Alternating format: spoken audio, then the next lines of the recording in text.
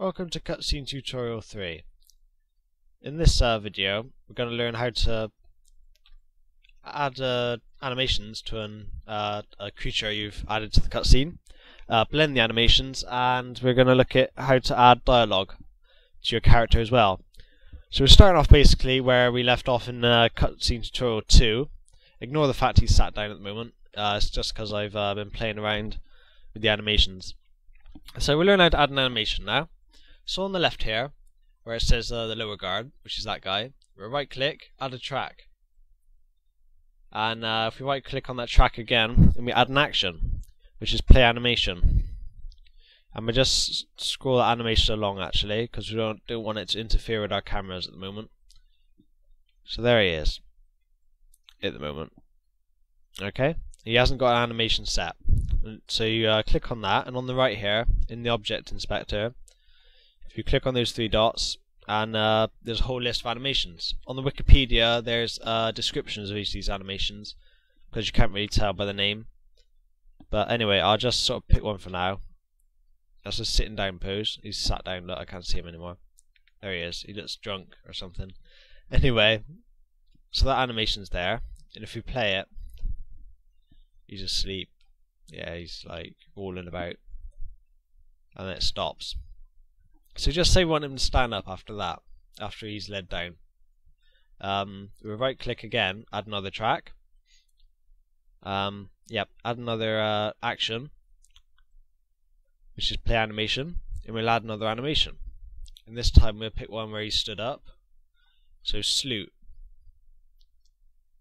So if we watch what happens, he's asleep, then he gets up and salutes. But it doesn't look very natural because he's just jumped up. I mean, that wouldn't you wouldn't get that in a cutscene. It'd look weird. So we want to blend these animations together. So to do that, we select them, right click, add transition, and transition type. We'll click to ease in and out. I think that's the smoothest. And we'll watch it again, see what happens. Not very smooth, is it? Even though you've added a transition. To fix this, move move the animations so they overlap. This gives more time for the animation to blend together. Ideally, it's still not as smooth as it could be, because some animations don't fit together very well. So you need to try and find ones that uh, you think work well. Um, so that's how you blend animations. Um, I'll show you how to add some dialogue now. So I right click again, add another track like we did before, and this time we're going to add a speak line. And on the right here, we add the source conversation. And I'll open tutorial conversation, which is one I made earlier. And then you click the source line, which is a line in the tutorial. So here's Speaker line now, with face effects and uh, over voices. There we go, look. As he's performing that animation as well. Um, I'm releasing a video detailing how to do face effects and the voiceovers soon. I've been a bit busy with the cutscene at the moment. But if you want to quickly know how to do it, just create dialogue like normal. It's quite simple to do. Um, just look on the Wikipedia and follow the instructions there.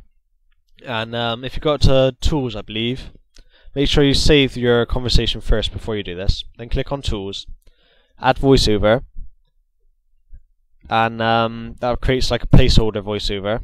And then once that's done, you can add go on Tools again, add face effects, and that create the lip sync and stuff. So that's all done.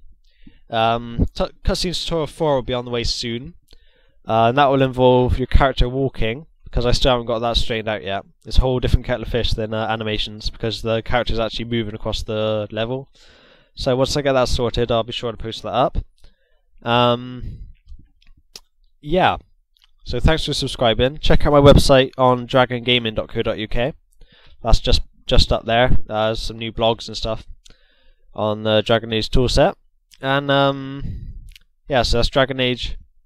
Sorry, dragongaming.co.uk. So be sure to check that out. It's in the description as well. And um, I hope this tutorial was useful. Stay tuned for some more. And uh, leave some comments and feedback below. Cheers.